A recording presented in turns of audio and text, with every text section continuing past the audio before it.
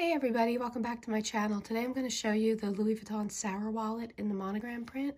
So, get this out here. So this wallet is a replacement um, for one I've had for a while. Um, the original one I had, the glazing started to crack and the snap broke. So I reached out to Louis Vuitton. Um, they told me to send it in. They would take a look at it. They deemed that original one I had is defective and they sent me a new one.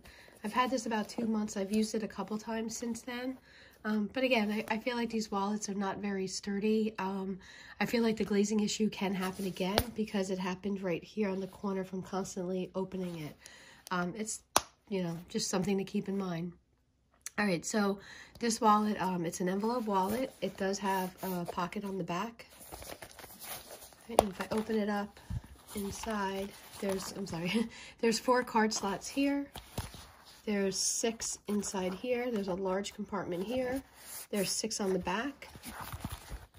And this here is another pocket, um, which I didn't even notice at first. So that's good, like to put receipts in and stuff. And then there's a coin pouch with 20 cents in it. Okay, so um, again, just has two large pockets, you know, some card slots, and then there's a pocket in the back here for um for your money. Right? And oh, I also had it hot stamped. This time, um, when they replaced it, I only got my first initial. One thing I noticed with the hot stamp, and this is something to keep in mind too, and again, I ordered this, you know, they replaced it over the phone and a local store sent it out to me. So I wasn't in the store when they actually hot stamped it, but I noticed right on the other side, I don't know if you could see this, but there's like kind of like a little ripple here. And I think that happened when they hot stamped it. So just keep that in mind if you ever get anything hot stamped. Um, with Louis Vuitton. And this doesn't really bother me. I'm not even going to send it back for that. So here you go. And originally when I had it too, this snap, the inside of it broke, so it wasn't staying closed. Right, so that's the wallet. Here's the front. Here's the back. It is a nice wallet. I mean, I like it. One thing I have to say about Louis Vuitton, I do love Louis Vuitton. I do love the monogram print. I have loved the monogram print since the 1980s. Um, I don't think Louis Vuitton was even that popular back then. I mean, I know it was. It seems much more popular now. It seems like everybody has Louis Vuitton. But I've always been a fan of the monogram print, even way back then. So to me, it's more like, it's kind of like a sentimental thing, which is why, you know, I still have, or I've purchased pieces in the monogram print um, recently, like over the last couple of years.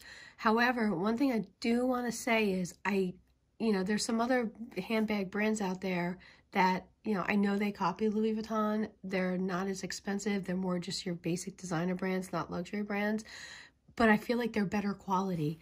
Um, it, again, like I said, it doesn't seem to bother me because I just, this is more like a sentimental thing for me because I have loved this print for so many years. But I just don't feel like the quality is really there with these. I don't think they're worth as much as they cost. Um, you can get a wallet for like two, three hundred dollars with much better quality, like full leather and all that. So just something to keep in mind. Uh, it is a beautiful wallet though. I do love it. I'm going to use it. I'm just can't use it all the time because I don't think it can hold up. And I just, you know, don't want the glazing issue to happen again. If you're looking at one of these, I would maybe go for like the zip around one because you shouldn't have a glazing issue with that. It's just because of the way this opens. But, you know, like I said, it's a beautiful wallet. I love it. I'm going to keep it. I just, you know, I'll use it, just not like all the time because I don't want to have it get damaged again. All right. So that's it. If you have any questions, please let me know. Please like this video if you like this kind of content and I'll keep posting videos like this.